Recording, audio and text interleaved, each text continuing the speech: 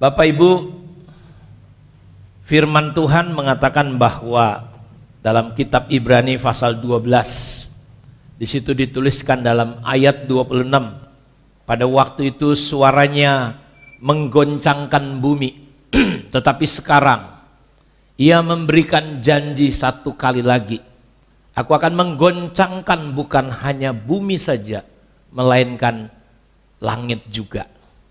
Ungkapan satu kali itu katanya menunjukkan kepada sebuah perubahan pada apa yang dapat digoncangkan. Karena ia dijadikan supaya tinggal tetap apa yang tidak tergoncangkan. Jadi Alkitab sudah menubuatkan bahwa satu kali kelak akan terjadi goncangan-goncangan. Ya, hanya karena satu virus, virus corona atau COVID-19, kita sudah lihat firman Tuhan ini tergenapi. Tergoncang semua. Ya. Langit, bumi, politik, ekonomi, saudara semua tergoncang supaya tinggal tetap yang tidak tergoncangkan. Itu baru dari satu sisi. Dari satu sisi yang lain nanti akan ada banyak gunung-gunung meletus, menimbulkan kelaparan. Banyak orang mati, bangkai-bangkai, mayat-mayat berserakan dan menimbulkan sampar demi sampar. Di tengah situasi itu muncul kebencian dari iblis yang adalah uh, dari awalnya yang memang iblis itu adalah pemberontak. Dan saudara tahu dunia dipakai untuk membenci orang-orang yang di dalam hidupnya mempercayai Yesus adalah Tuhan. Ya, ada kebencian sehingga muncul aniaya yang begitu hebat. Tapi ada janji Tuhan ayat ini. Ya.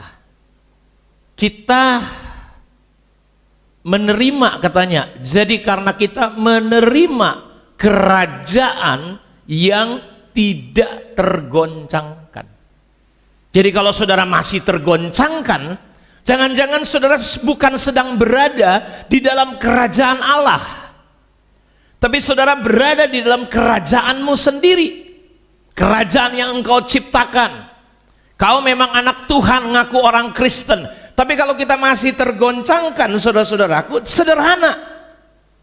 Jangan-jangan kita memang tidak sedang berada. Kita cuma ada di gereja ngaku orang Kristen, tapi kita tetap tergoncangkan, tetap ketakutan, tetap khawatir, tetap cemas. Apa yang dimaksud kerajaan yang tidak tergoncangkan? Saya tidak katakan saudara kita menjadi sombong, enggak, arogan, enggak, jauh dijauhkan Tuhan. Kerajaan yang tidak tergoncangkan itu hanya kerajaan Allah.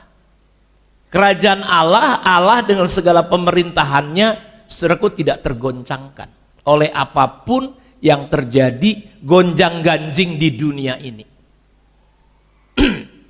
Karena itu bertobatlah, terimalah kerajaan Allah, tinggallah di dalam kerajaan Allah.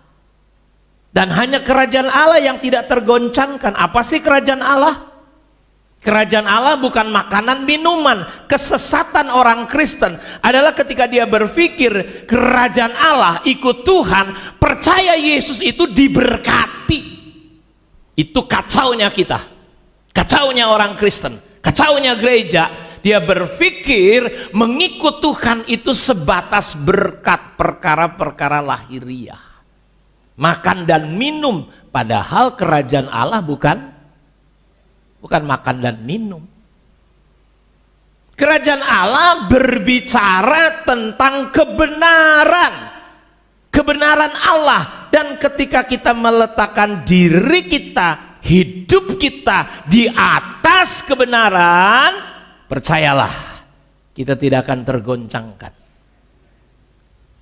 Dan selama kita masih tergoncangkan, saudaraku, sederhana, kita berarti tidak benar-benar membangun meletakkan diri kita di atas kebenaran. Tidak boleh ada dasar lain kecuali Kristus. Dan orang yang membangunnya harus memperhatikan apakah dia membangun dengan kualitas emas, perak, dan batu yang mahal. Kalau hari ini orang sedang haru biru, kelam kabut, ya, dengan pandemi, saya beritahu realitanya memang pandemi ada.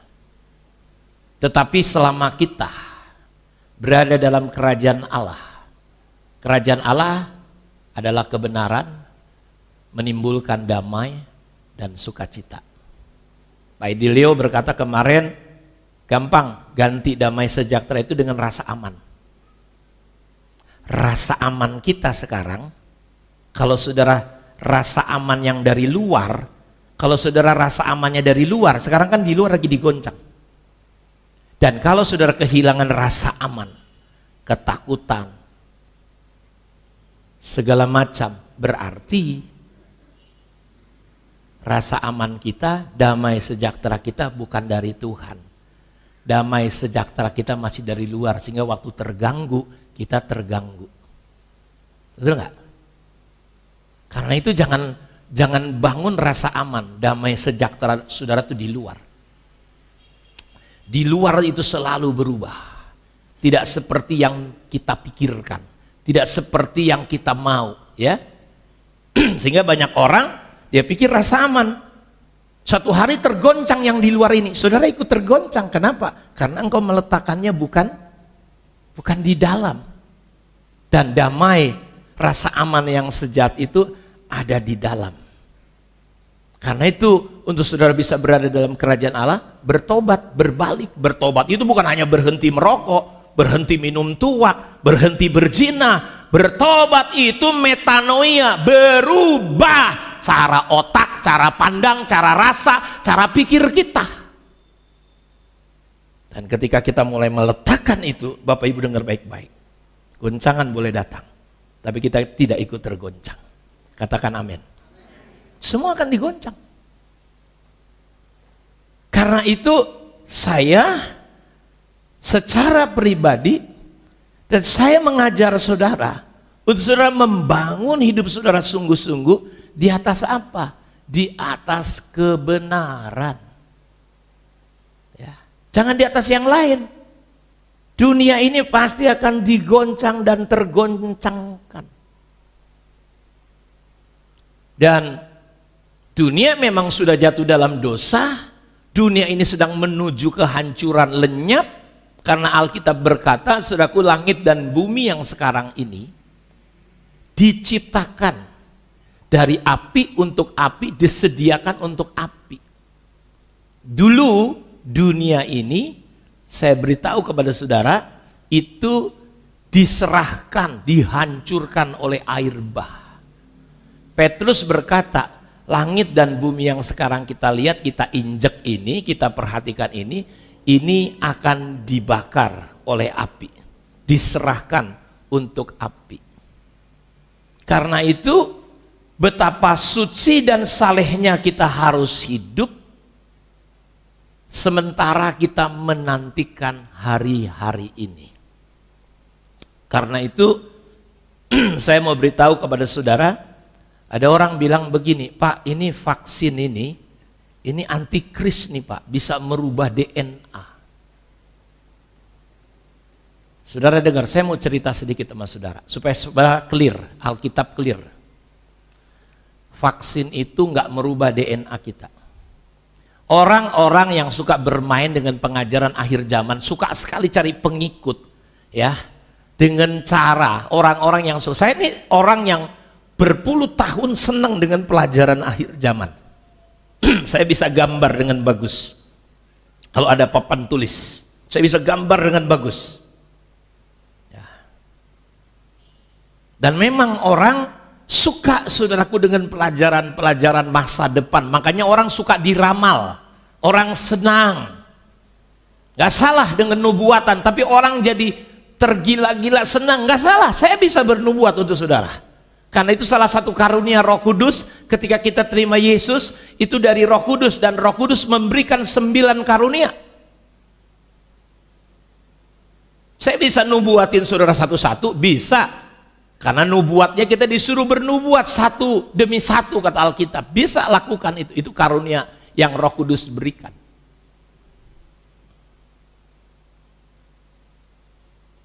Nah, perhatikan baik-baik. Saya sebelum masuk ke materi saya, karena saya harus luruskan, ya, sehingga di kalangan orang Kristen, kalau saudara nggak mau divaksin, jangan bilang karena itu antikris ya. karena vaksin itu sama kayak saudara vaksin campak, vaksin ini dan itu. Jadi nggak ada urusan antikris. Antikris itu nanti akan memberi tanda ketika dia ada di dunia. Tujuh tahun sebelum Yesus datang, antikris nyelinap masuk menjadi satu pribadi yang pinter. Genius. Karena dia bisa mengatur ekonomi, militer, semua agama ini saudaraku nanti satu hari diatur. Di kitab Daniel, nanti Israel akan diserang oleh seluruh bangsa. Kenapa Israel menjadi bangsa yang hebat? Yang pertama, karena dia memang bangsa pilihan. Yang kedua, karena bangsa ini dikelilingi oleh seluruh musuh-musuh sekitar mereka. Mereka harus belajar, mereka harus sungguh-sungguh dan karena mereka bangsa pilihan Tuhan mereka diakui sebagai bangsa yang jenius dan pinter hampir semua orang-orang pinter di dunia berasal itu dari mereka ya, mereka bisa mengubah atmosfer udara menjadi pertahanan untuk apa mempertahankan waktu rudal-rudal Palestina menyerang ada 7000 rudal di di ditimpakan itu Israel itu cuma 8 juta suraku sebesar kira-kira kota Medan. Medan itu 12 juta, jadi lebih kecil dari Medan. Penduduknya cuma 8 juta. Karena dia satu bangsa pilihan, kedua karena di sekitarnya itu adalah musuh-musuh, mereka harus belajar. Makanya seorang pengamat berkata, kenapa bangsa Indonesia ini menjadi bangsa yang gak hebat-hebat? Singapura itu bangsa yang kecil penduduknya mungkin nggak terlalu banyak. Ada istilah orang Indonesia mungkin kalau dikencingin orang Indonesia seluruh Indonesia, Singapura bisa banjir tenggelam. Kalau rame-rame orang Indonesia kencing katanya. Bisa tenggelam itu. Tapi dia punya punya persenjataan, saudaraku punya apa yang hebat. Kenapa? Karena di seputarnya itu dia tahu dikelilingi oleh bangsa yang besar-besar karena itu Singapura hebat. Kecil tapi hebat. Ya. Kenapa Indonesia nggak hebat? Karena Indonesia saudaraku bangsa yang besar tapi nggak ada yang ditakutin. Tuhan pun dia nggak takut. Dilawan juga Tuhan saudara-saudaraku. Indonesia besar karena itu gak ada yang ditakutin. Sampai Tuhan pun gak, gak ditakutin. Di tengah-tengah COVID-19 orang menderita, tega-teganya korupsi. Tega-teganya ku politik kita ada orang-orang tertentu mau bikin kacau. Kita ada di tengah situasi seperti ini. Nah, ketika Israel diserbu oleh orang-orang di sekitarnya. Saudaraku, antikris yang menyamar sebagai orang yang jenius dan hebat, dia bisa membuat perdamaian. Ditolongnya Israel. Dan bait Allah waktu itu sudah terbangun di tengah perjanjian. Perhatikan, di tengah perjanjian. Israel dicaplok sama antikris.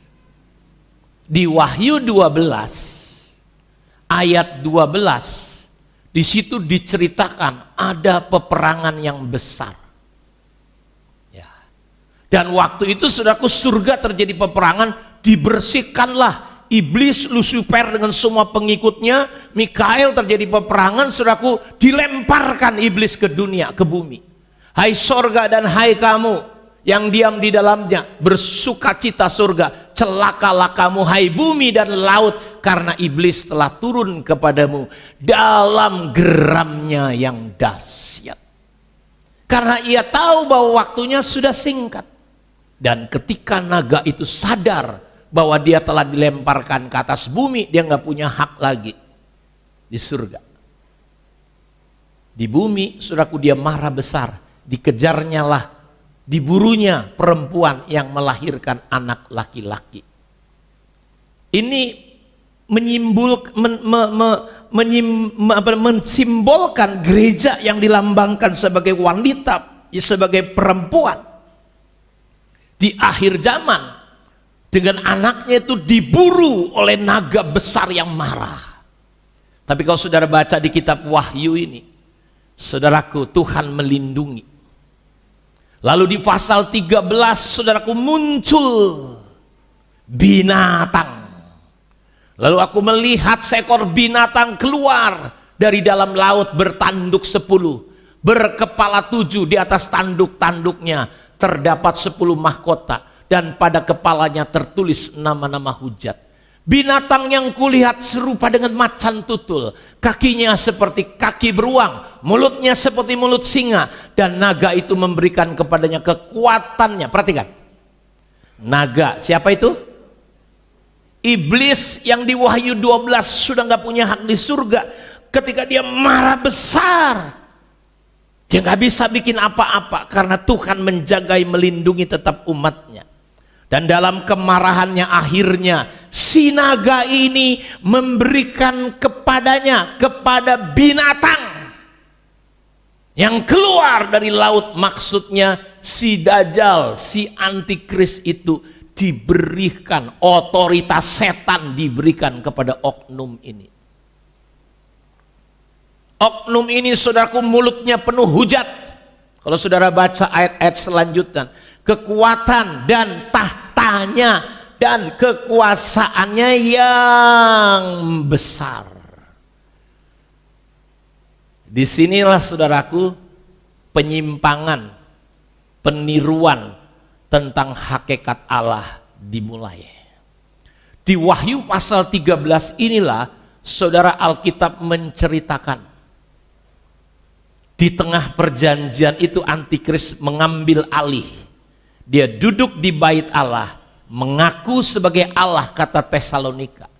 Ketika orang berkata damai, damai, tak dicaplok. Dia duduk di bait Allah. Dia ngaku sebagai Allah.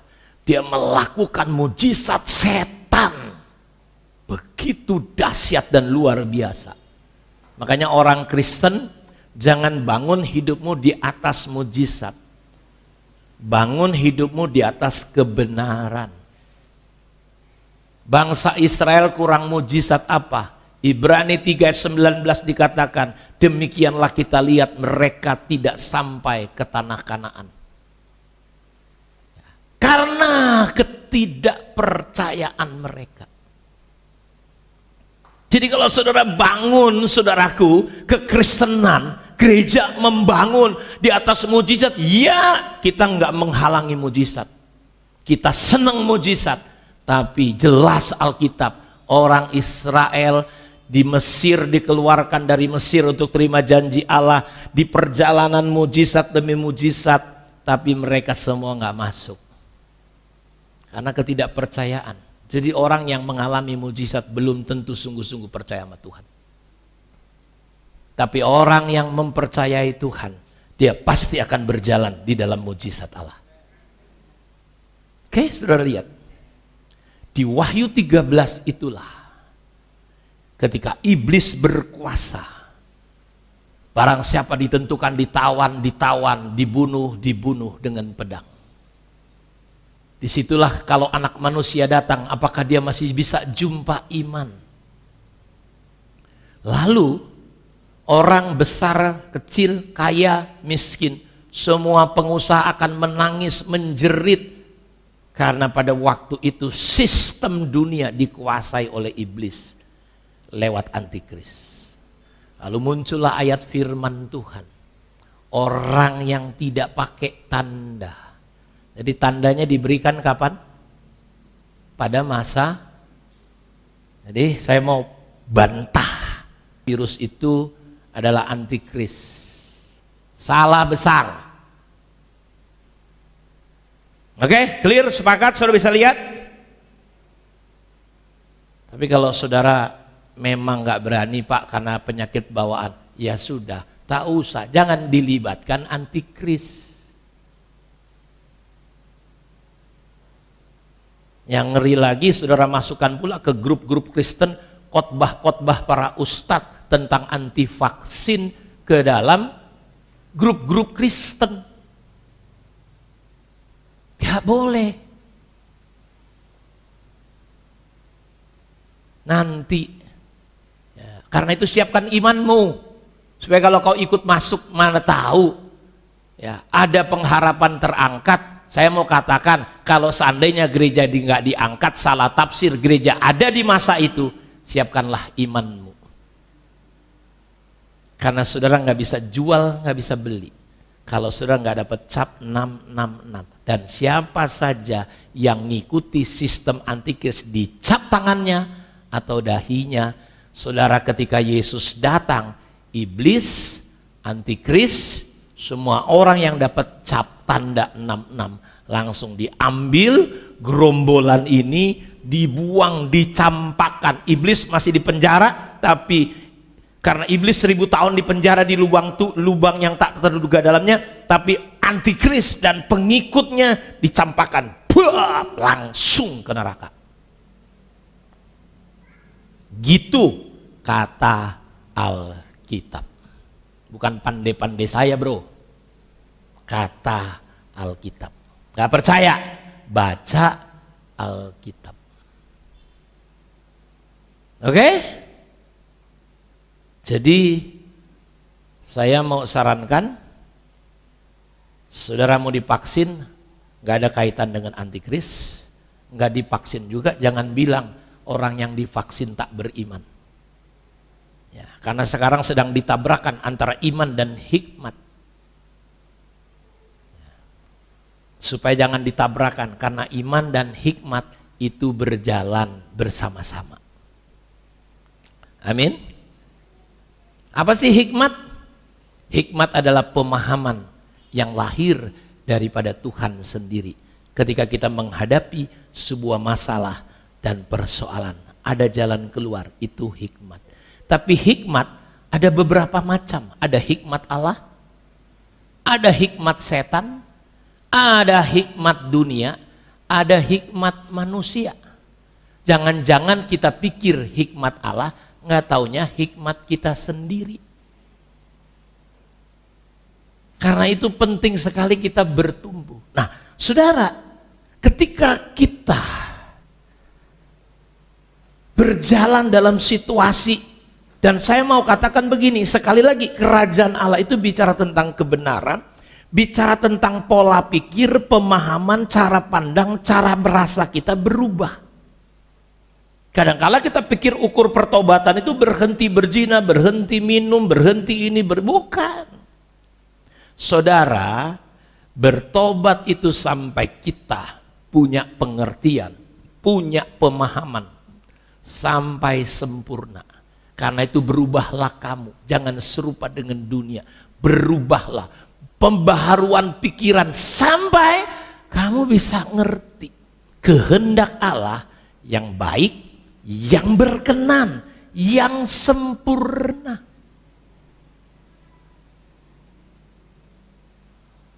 Ya. Jadi pertobatan supaya kita bisa berada dalam kerajaan Allah semua cara pandang, cara pikir, cara rasa yang tidak cocok sesuai dengan kebenaran, kita harus berani dibongkar, dibuang. Jangan dipertahankan. Supaya apa? Supaya kau bisa berjalan menerima kerajaan Allah yang tidak tergoncangkan. Terkadang kita orang Kristen tiba-tiba jadi ahli COVID jadi juru bicara hoax.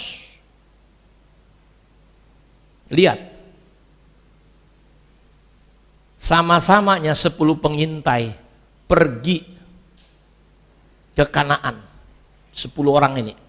Para pemimpin ini. Ini tingkat levelnya ini bukan sembarangan. 10 orang ketika kembali kepada Musa dan Harun ceritanya berbeda. Dua orang pengintai yang lain sama, 12 orang menghadapi yang sama, situasi yang sama, pandangan yang sama, keadaan yang sama, tapi bisa berbeda.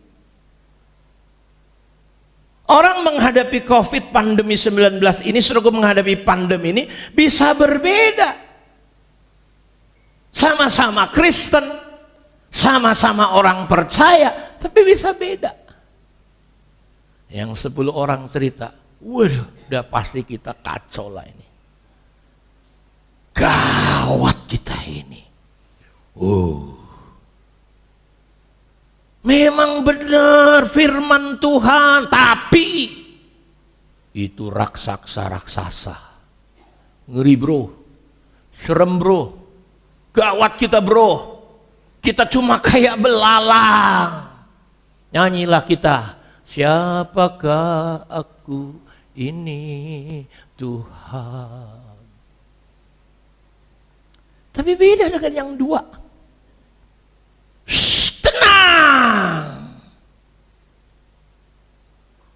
Wih, COVID, COVID. Saya tanya, memangnya kalau saudara kena COVID, kenapa?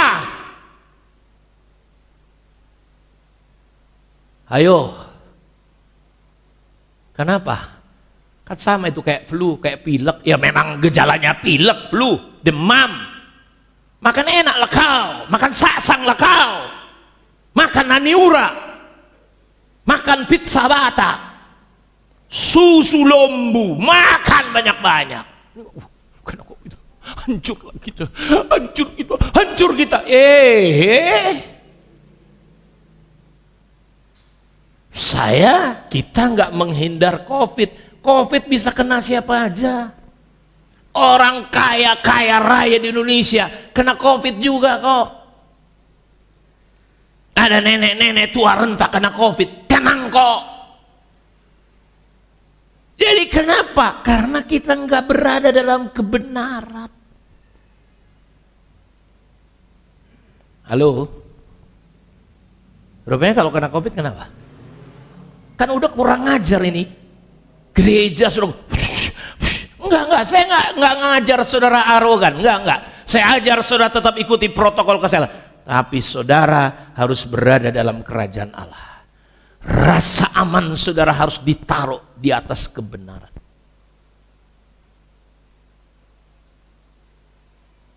Bro, kalau nggak waktunya mati, nggak mati gitu. Ada orang waktunya udah mati, nggak palanya soal kena covid. Lagi tidur, inna lillahi wa inna lillahi rojiun alias monding koit. Pak, kok nggak bangun? Udah dingin. Pa, pa, pa. Selesai. Coba lihat bedanya nih ya, lihat bedanya ya. Sepuluh pengintai dengan dua pengintai. Coba lihat sekarang bedanya Daud ketika berhadapan dengan Goliat. Ketika orang melihat Goliat, Saul dan seluruh tentara ketakutan. Anggap aja Goliatnya sekarang pandemi 19. Takut bersembunyi. Dihinanya semua pasukan Allah orang Israel. Woi, kalau jago sekarang mana kalian? Daud saudaraku, semua orang tiarap dia datang gak sengaja masih kecil imut-imut, kemerah-merahan, usianya diperkirakan 16 tahun. Tapi dia biasa bergaul dengan Allah, dia kenal Allah. Begitu dia ketemu Goliat, eh kurang ajar ini. Apa-apaan ini? Coba sudah lihat betapa terhinanya gereja gara-gara corona ini.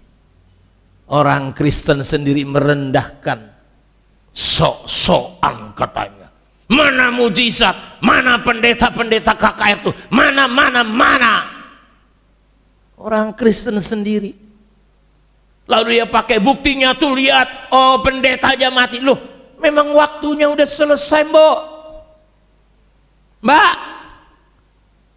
Memangnya pendeta nggak bisa mati? Itulah salahnya kita. Kita pikir kita jago, kita pikir kita hebat. Salah berpikir, dengerin baik-baik. Elisa, nabi yang hebat, double porsi urapannya dari Elia. Alkitab berkata, Elia mati karena sakit.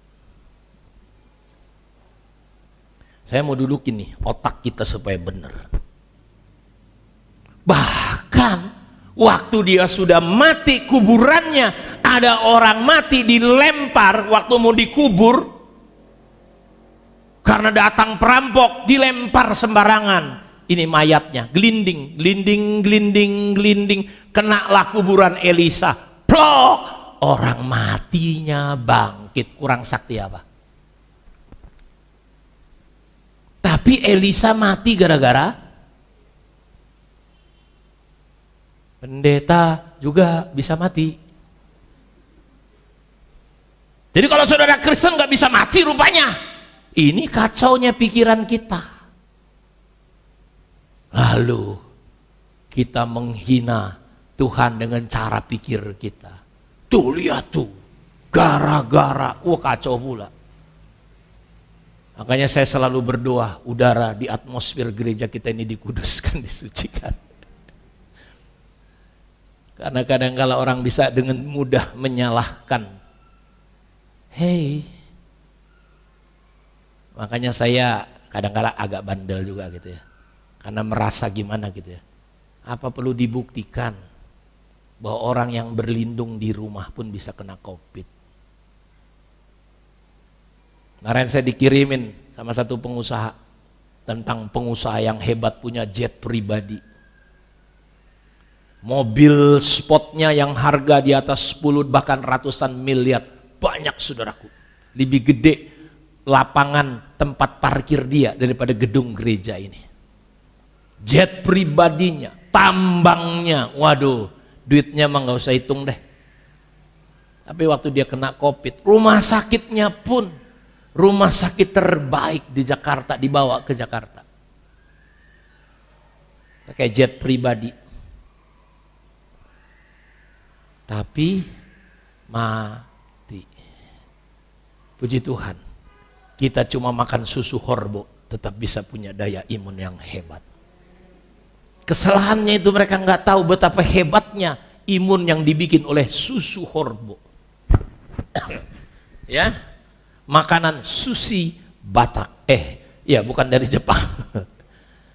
Makanya itu saudara waktu saya, mungkin kalau saya waktu itu itu tahun lalu juga orang bilang kena covid. Sakit semua badan. Ya, saya nggak mau periksa kenapa, karena pasti di covid nanti ini. Habis saya kena istri saya, habis istri saya kena, si Priscilla kena, habis Priscilla kena, anaknya si Katriel kena, si Dedi juga kena. Isoman, isolasi mandiri. Waduh nggak selera makan, bau semua hilang. Tapi saya punya prinsip, makan itu bukan enak. Walaupun nggak enak mau makan, nggak kepengen makan. Apalah aku pikir paling enak, uh makan saksang. Aku nggak makan dagingnya, cuma bumbunya supaya bisa makan. Hajar terus. Satu minggu, dua minggu, satu bulan tepar juga nyaku waktu itu. Kan saya pernah nggak ibadah satu bulan. Wah, saudaraku, puji Tuhan, bisa dilewati karena makan saksang. Jadi kalau ada orang kena covid, suruh makan saksang.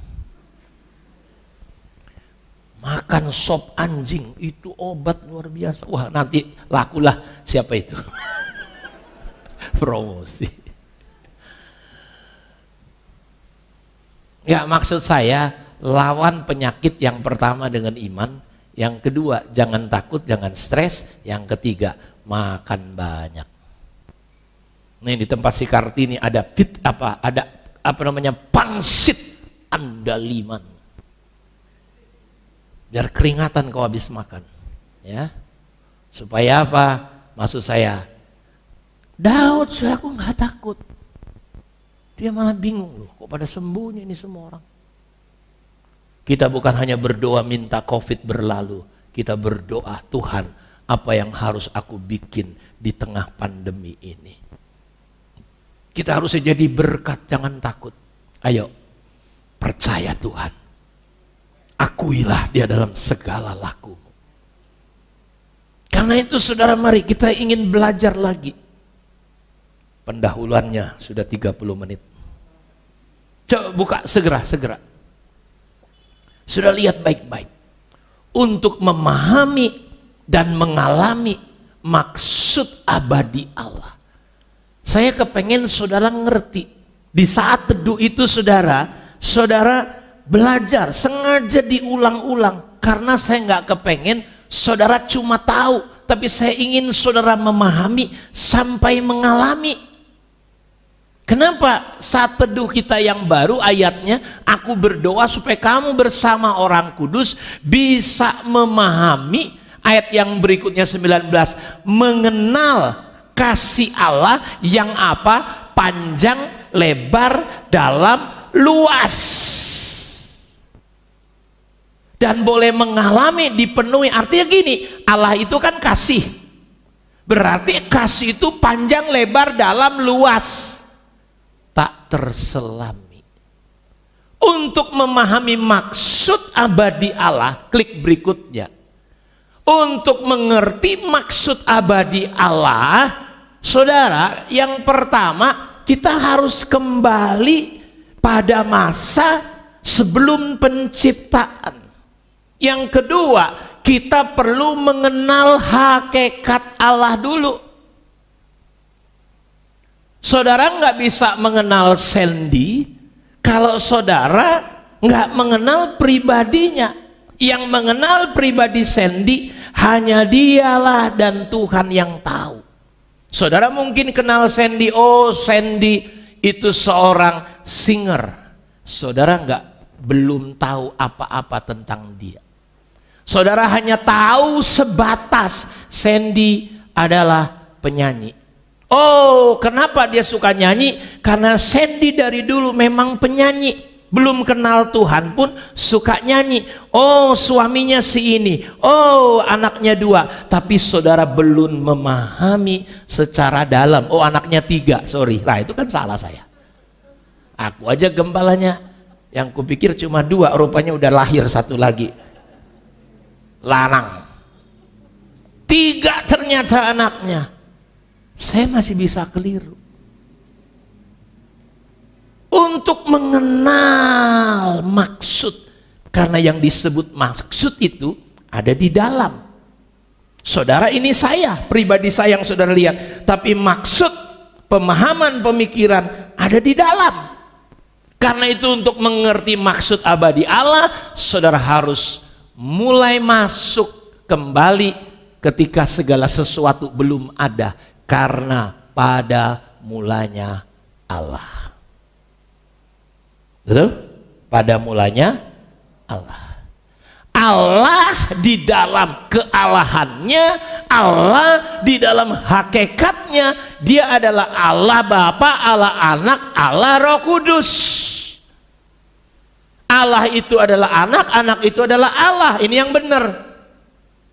Bapak dan Yesus adalah satu, betul mereka adalah Allah, tapi Bapak bukan Yesus, Yesus bukan Bapak, Roh Kudus bukan anak, anak bukan Roh Kudus. Kalau saudara ingin mengerti maksud abadinya, engkau perlu mengenali dulu pribadi Allah kita, Allah dengan hakikatnya.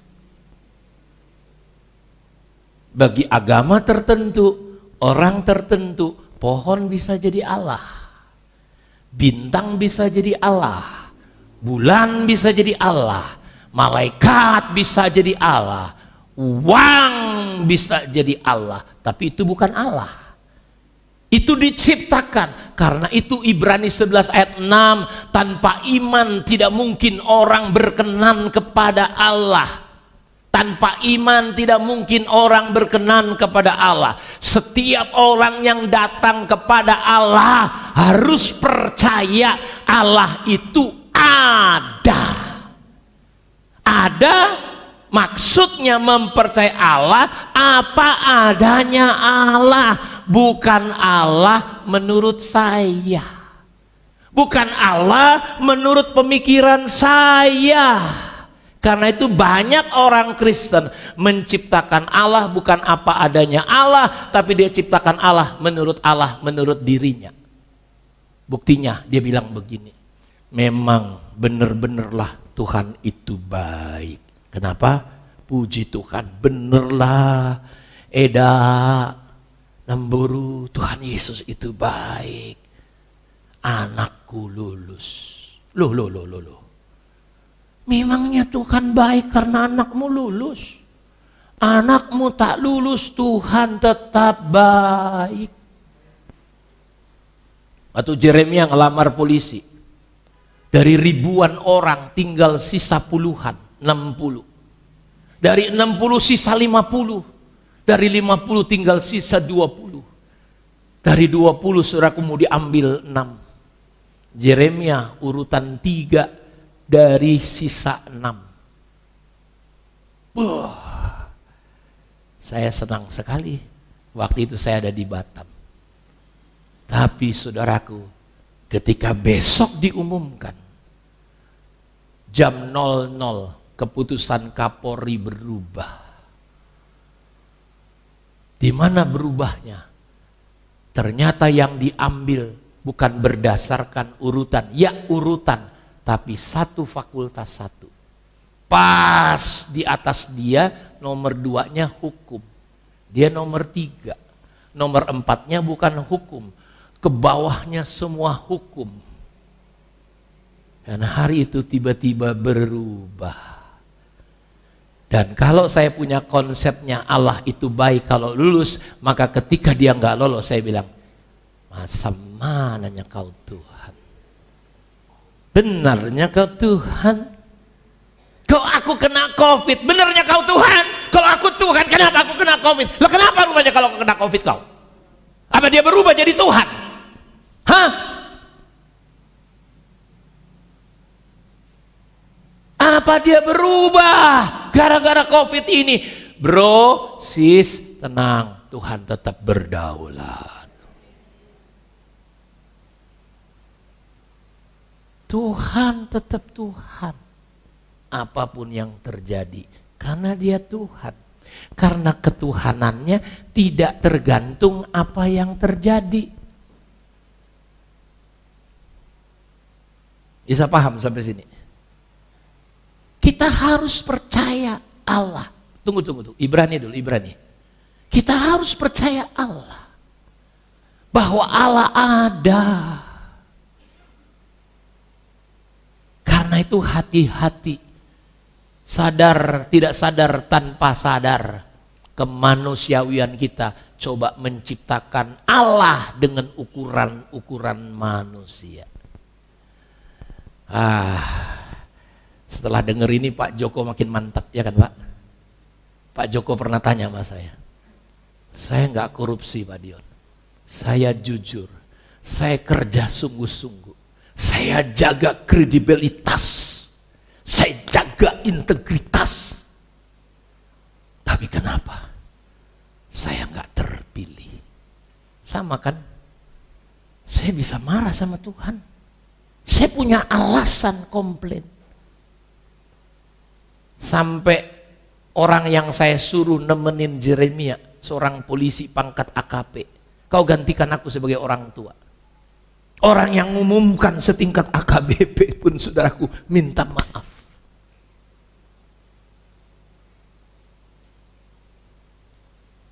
Karena Jeremia nggak bisa lolos. Urutannya udah nomor tiga. Coba pikirkan, pikirkan. Coba pakai pikiran dulu saudara. Jangan sampai nggak pakai otak, pakai dulu otak kita. Saya bisa kecewa dan jujur waktu itu saya agak stres sedikit. Gini-gini juga. Semua acara yang saya ikuti pada waktu itu, seraku nggak bisa saya ikuti lagi.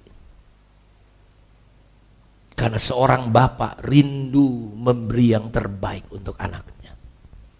Semua akses yang saya punya, saya gunakan. Tuhan, semua akses yang saya punya, saya gunakan. Lulus tapi tidak lolos. Bisa kecewa saya? Bisa. Waktu itu Jeremia bisa kecewa? Kecewa. Tapi berjalannya waktu, kami melihat ternyata memang lebih baik begitu. Karena Tuhan lebih tahu daripada kita. Ada orang-orang yang kena COVID, tujuannya supaya dia bisa jadi berkat, supaya dia bisa memahami Tuhan. Karena terkadang kalau nggak kena COVID, sok jago terus dia, sok hebat terus. Dia pikir dia kuat, dia pikir dia jago, dia pikir dia Tuhan, dia lupa sama Tuhan, Sang Pencipta. Karena itu untuk memahami maksud abadi Allah, coba kembali ke gambar itu. Sudah perlu mengenal, ketemu secara pribadi bahwa Allah yang kita sembah adalah Bapa, Anak, dan Roh Kudus. Oke? Final. Ayatnya coba sebentar bukain. Di surga ada tiga saksi, Bapa, Firman, dan Roh Kudus ketiganya adalah satu. Coba kembalikan ke gambar tadi. Jadi Bapa bukan fungsi, Yesus bukan fungsi, Roh Kudus bukan fungsi. Tapi Roh Kudus adalah satu pribadi. Dia bisa kecewa. Makanya ada ayat jangan dukakan Roh Kudus. Makanya ada ayat orang yang menghujat Bapa. Itu pribadi. Orang yang menghujat Yesus itu pribadi. Dalam kepribadian mereka.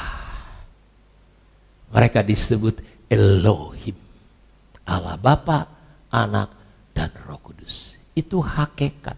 Kita mau clear dulu di sini. Tunjukkan lagi ayatnya. Klik. Penghibur yaitu Roh Kudus akan diutus Bapa dalam namaku baptis mereka dalam nama Bapa, Anak, dan Roh Kudus. Karena itu Bapak Ibu, kita perlu mengenal pribadinya. Allah yang adalah pribadi Bapa, Anak, dan Roh Kudus, dia menciptakan. Klik. Kemuliaan Tuhan, langit menceritakan kemuliaan Allah Cakrawala memberitakan pekerjaan tangannya. Hari meneruskan berita kepada hari, malam menyampaikan pengetahuan itu kepada malam. Tidak ada berita, ada kata suara mereka tidak terdengar tetapi gema mereka terpancar ke seluruh dunia dan perkataan mereka sampai ke ujung bumi. Ia memasang kemah di langit untuk matahari. Saudara bisa melihat Allah dari ciptaannya. Betul? Saya bisa menangis melihat batu besar bukan karena batu itu Allah. Saya melihat kebesaran Allah. Saya melihat Allah.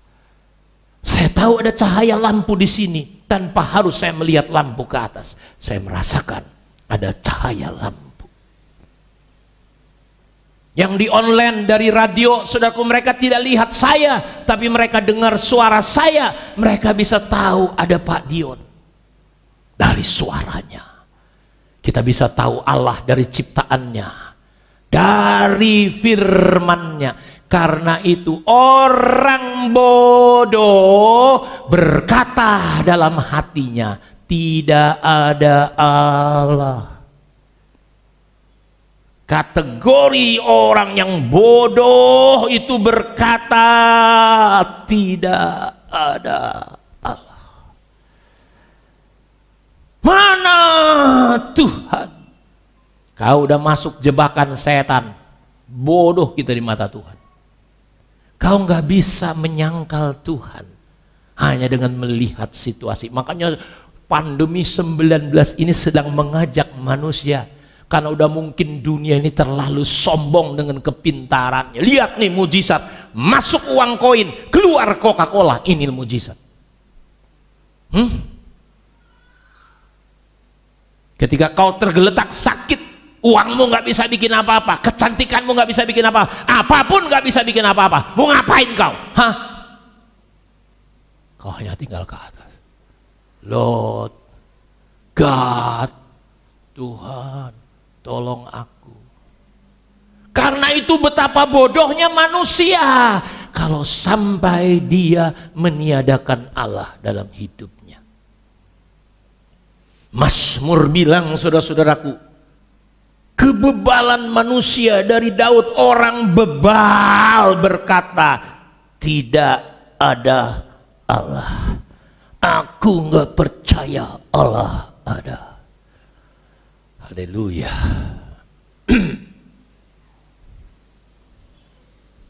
Perlu dipojokkan oleh keadaan-keadaan untuk sampai kau sadar bahwa kau cuma debu dan abu bahwa kau cuma uap, kita cuma uap. Jangan pernah berpikir rasa amanmu karena uang, karena sehat.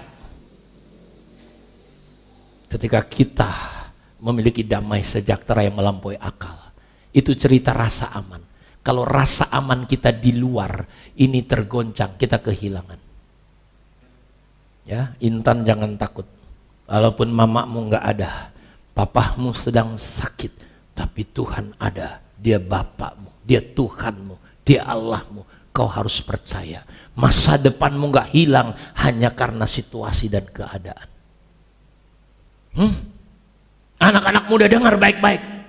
Orang tuamu boleh gak ada. Orang tuamu boleh kehilangan pekerjaan. Tapi masa depanmu bersama dengan Tuhan. Gilang gemilang. Jangan karena kita lihat seukuran pikiran kita begini, begini, begini, aman. Oh no letakkan rasa amanmu di dalam Tuhan Yesus. Coba lihat. Orang bebal berkata tidak ada Allah. Oh, ngeri. Dosa yang paling mengerikan adalah ketika engkau berkata nggak ada Allah. Macam mananya kau Tuhan? Di mana kau Tuhan? Di mata Tuhan orang itu jijik, menjijikkan, busuk, jijik perbuatan mereka. Gak ada yang baik.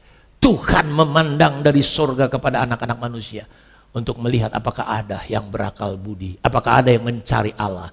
Mereka setua, semua nyeleweng, orang yang menolak hakikat Allah pasti nyeleweng, pasti sesat, pasti kacau.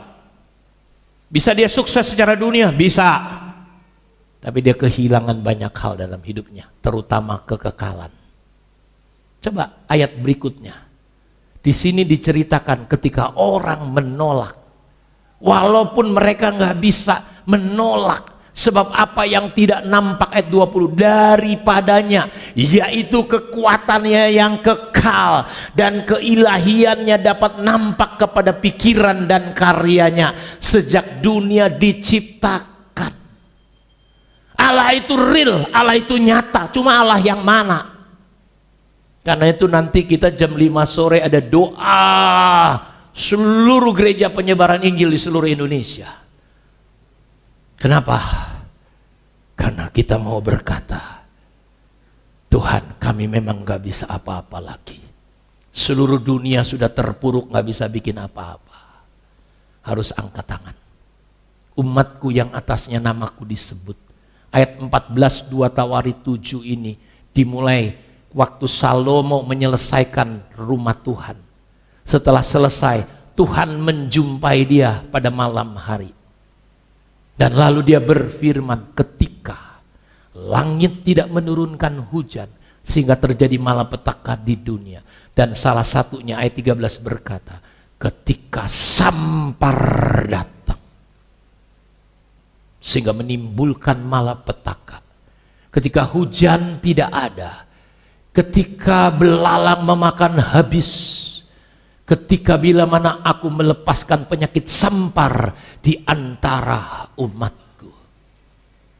Saudara, di situlah umatku yang atasnya namaku disebut merendahkan diri. Bukan karena ada gerakan OJK menangkapi OJK orang jugul kali. Bukan karena PPKM, bukan, bukan Indonesia harus berlutut merendahkan diri. Bersatu hati berdoa, rendahkan diri, tobat, tobat, tobat, berbalik dari jalan yang jahat. Tuhan bilang ayat 14, aku dengar doanya dari sorga. Aku akan sembuhkan, pulihkan negerinya. Sekarang mataku terbuka dari sorga kepada tempat ini. Di mana? Di rumahnya, di umatnya yang berdoa di dalam kesatuan. Karena itu semua kesombongan kita, semua perpecahan kita, sok jago kita letakkanlah, buanglah, tobatlah kita saudaraku. Karena itu kalau sudah tahu mau maksud abadi Allah, salah satunya, coba kembali ke materi saya, tunjukin. Coba lewatin saja. Kalau nanti saudara sempat baca ini, ketika mereka menolak, di situ terjadi penyimpangan-penyimpangan, terjadi LGBT, perempuan nggak suka laki-laki, perempuan suka perempuan, laki-laki nggak suka perempuan, tapi laki-laki suka laki-laki. Terjadi saudaraku yang namanya penyimpangan-penyimpangan. Wah ngeri, itu dimulai karena penolakan kepada hakikat Allah yang nggak bisa disangkal sebenarnya. Karena itu saudara, kita coba terus lewatin. Terus lagi, slide ini, lihat. Ketika kita hanya ada Allah di situ, lalu di ayat 26 dia berkata, berfirmanlah Allah. Allah yang adalah Bapa, Anak dan Roh Kudus dia berkata, marilah kita. Karena itu manusia ketika diciptakan dia diciptakan oleh Allah yang menyebut dirinya kita. Karena itu manusia, lihat ya. Ketika dosa masuk ke dalam dunia, manusia itu jadi independen. Lihat ketika saudara punya masalah, saudara selalu pengen sendirian. Masuk kamar, nggak mau ketemu orang. Orang gila itu dimulai dari kayak gitu pertama ngomong-ngomong sendiri, jalan-jalan sendiri, makan-makan sendiri, itu orang gila. Lihat ya, ketika kita punya masalah, iblis larikan kita. Hah? Mau sombong atau minder itu sombong juga, kita pengen sendiri. Gak mau ditemui orang. Makanya orang biasanya lari dari komunitas itu karena ada dosa ada independensi dosa membuat manusia lari dari hakikatnya. Percayakah saudara? Manusia adalah makhluk komunitas.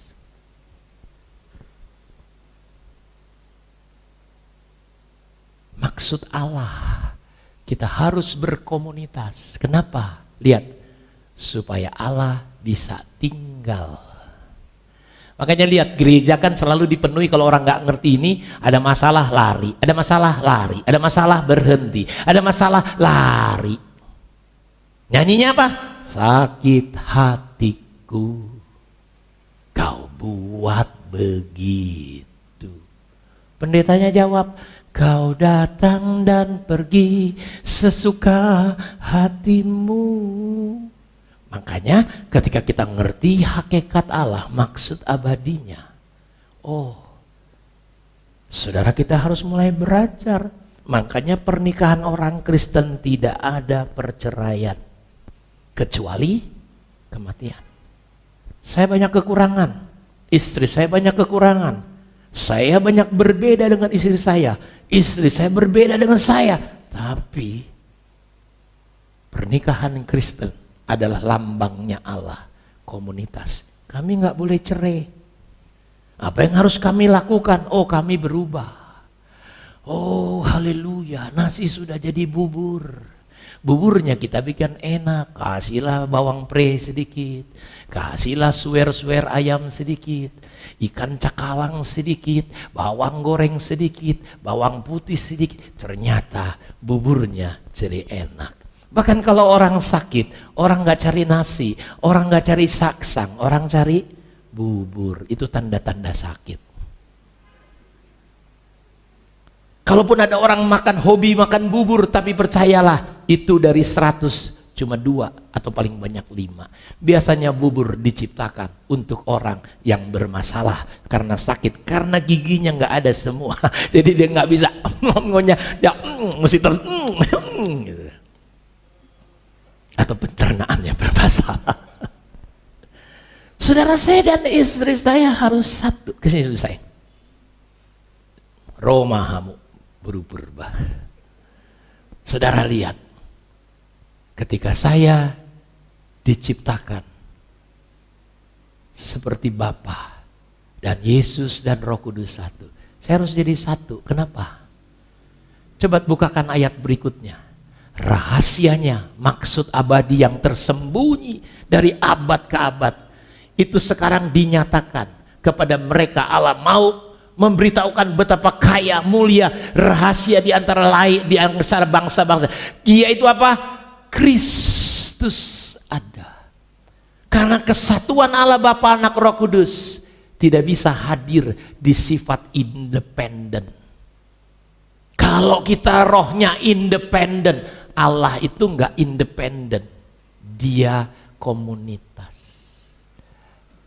Serigala punya liang, burung punya sarang, tapi anak manusia tidak punya tempat untuk meletakkan kepalanya. Rumah tangga saya, kami berusaha sampai hari ini untuk hidup saling mengasihi. Damai sejahtera, saya belajar menerima istri saya, istri saya menerima saya. Dia pembersih sekali.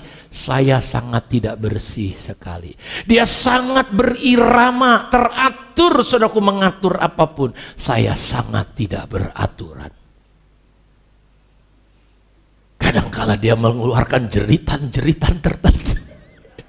Papa, Hah, ada apa? Ini. Oh, aduh maaf ya sayang. Dia harus belajar menerima saya karena saya bukan dia, dia bukan saya, tapi kami yang berbeda ini harus satu. Kenapa kami harus satu? Supaya Allah dalam rahasianya, karena Allah pengen tinggal. Di dalam perbedaan kami itulah kami belajar jadi satu. Supaya apa tujuannya? Supaya bukan dibilang orang, uh, uh, uh. Eh, eh, bukan. Supaya Allah punya tempat. Karena dari awal sampai akhir ketika dia ciptakan Adam dan Hawa, Allah selalu hadir di Taman Eden. Ketika langit bumi ini lenyap, Alkitab berkata, tempat kediaman Allah ada bersama-sama dengan manusia. Matahari nggak dibutuhkan karena Allah jadi matahari untuk umatnya. Karena itu berulang kali dan berbagai cara sampai dia berikan Yesus anaknya. Dimulai ketika Saudaraku zaman orang Israel disuruh bangun kemah sembayang Bait Allah zaman Salomo Di perjanjian baru rubuhkan bait Allah ini Aku akan bangun dalam tiga hari Yang dimaksud ialah tubuhnya Gerejanya, umatnya Yang jauh jadi dekat yang dekat jadi bersatu, jadi tempat kediaman Allah. Maksud abadi Allah, kita bukan hanya sekedar kebaktian. Maksud abadi Allah, kita bukan sekedar diberkati. Maksud abadinya, sebelum langit bumi ini hancur, dia ada di antara kita. Kristus ada di tengah-tengah kamu. Pertanyaannya, Adakah Yesus di antara saudara? Adakah Yesus di rumahmu? Adakah Yesus di gereja ini? Karena itu saya paling benci perceraian. Saya paling benci perpecahan gereja. Karena itu saya nggak buka cabang di mana-mana. Bukan saya nggak bisa buka cabang. Tapi saya berpikir gereja itu sama. Adalah anak-anak Tuhan. Kita perlu bersatu saling tolong menolong. Kita nggak merasa gereja kita paling hebat. Organisasi ini paling enggak. Karena itu bukan maksud abadi Allah. Maksud abadi Allah adalah dia punya tempat. Karena hatimu jangan berpecah. Karena hatimu jangan berselisih. Kita harus bisa harmonis satu dengan yang lain. Ya? Siapa namanya? Cyril. Kau harus sayang sama mamamu. Seril. Mamamu ini Ya, judes, jujur, jujur tapi pedes. Tapi kau harus belajar. Tuhan, kenapa mama aku kayak begini? Ya itulah mamamu. Macam mana kau udah dari sononya? Apa kau perlu masuk ke lahir ke, ke rahim mamamu lagi dilahirkan kali kan nggak mungkin nggak bisa. Ya kau harus terima itulah realita, realita mamamu. Kenapa Allah kita tiga? Udah dari sononya bro, udah terima aja lah, capek kau. Nanti kau jadi sesat. Kenapa? Karena salah satu saya tutup roh antikris. Coba lihat. Satu Yohanes pasal 2 ayat terakhir. Musiknya udah boleh, Ded? Satu Yohanes, tolong ayat yang tadi sudah pesan. Anak-anakku, waktu ini adalah waktu yang terakhir. Seperti yang telah kamu dengar, seorang antikristus akan datang. Sekarang telah bangkit banyak antikris, itulah tandanya bahwa waktu ini benar-benar adalah waktu yang terakhir. Coba lihat kiri kanan, bilang, untung kau bukan antikris. antikris sudah banyak datang. Nah kita lihat cirinya antikris ayat yang keberapa? 22. Siapakah pendusta itu? Bukankah dia yang menyangkal bahwa Yesus adalah Kristus? Dia itu adalah antikris. Sifat antikris yaitu dia menyangkal bahwa Allah Bapa adalah pribadi. Menyangkal Yesus adalah pribadi menyangkal roh kudus adalah pribadi jadi sifat roh antikris dia menyangkal baik Allah Bapa baik anak 1 Yohanes pasal 4 ayat berapa tadi itu tolong ini yang terakhir setiap roh yang tidak mengaku Yesus tidak berasal dari Allah roh itu adalah roh antikris dia menolak hakikat Allah. Dia akan datang. Kau sudah dengar, banyak nabi palsu akan muncul.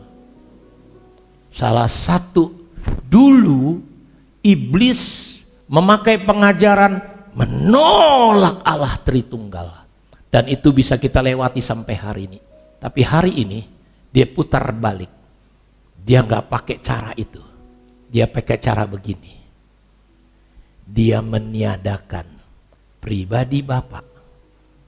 Dia hanya mengakui Yesus. Ya, Bapa dan Yesus dan Roh Kudus satu.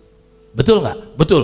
Kalau Anda menolak kesatuan ini, kita akan menolak Allah. Tapi ketika kita berkata bahwa Allah itu hanya satu pribadi, Esa, betul.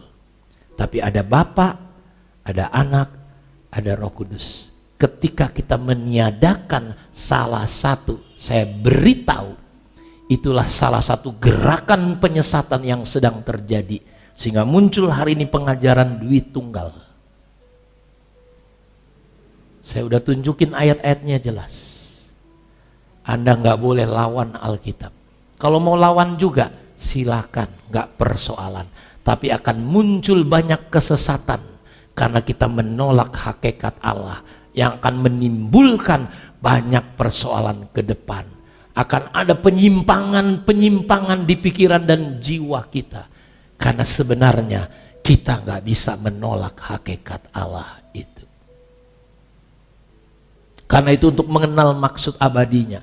Kita belum masuk ini lebih dalam tentang maksud abadinya. Kita harus belajar mengenali Allah secara pribadi. Tuhan berkati kita.